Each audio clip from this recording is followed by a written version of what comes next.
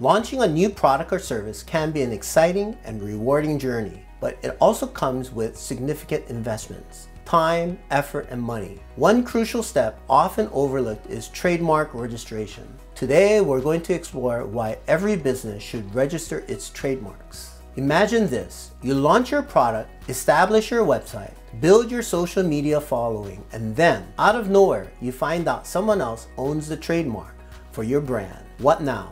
You'd be forced to rebrand everything. Rebranding after you've already established your business can be a costly and time-consuming setback. However, registering your trademark before you start your branding efforts helps you avoid this nightmare.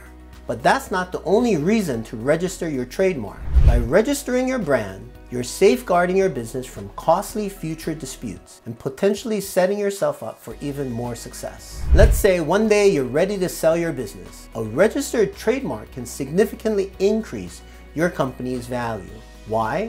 Buyers would be more interested in a business if it's legally protected, knowing that they can prevent others from using the brand that they are buying. Without a federal trademark registration, your brand protection is limited to your local market. For example, if you sell only in the Los Angeles area, your rights only extend there. But with federal registration, your brand is protected nationwide. Even if you're not selling outside your region yet, having federal protection ensures you control your brand anywhere in the United States. Here's the bottom line. Rebranding after a product launch could cost you tens of thousands of dollars. In comparison, registering your trademark with the USPTO would be a few hundred dollars if you did it on your own, or a few thousand dollars if you hired a trademark attorney.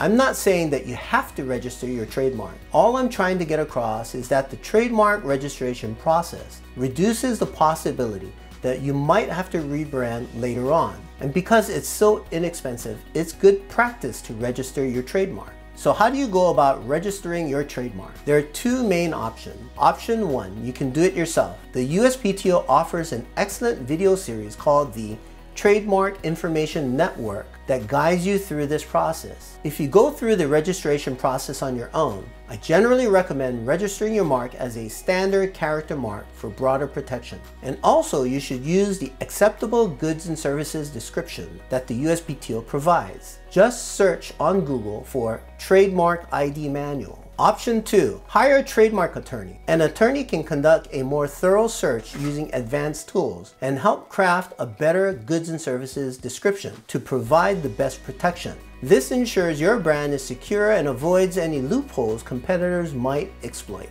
Trademark registration is more than just paperwork. It's an investment in your brand's future. It's affordable, offers nationwide protection, and can help secure your business's value. So whether you go the DIY route or hire a trademark attorney, don't skip this essential step in building your business. Thanks for watching. If you found this video helpful, don't forget to like and subscribe for more business tips and strategies. Protect your brand, protect your future.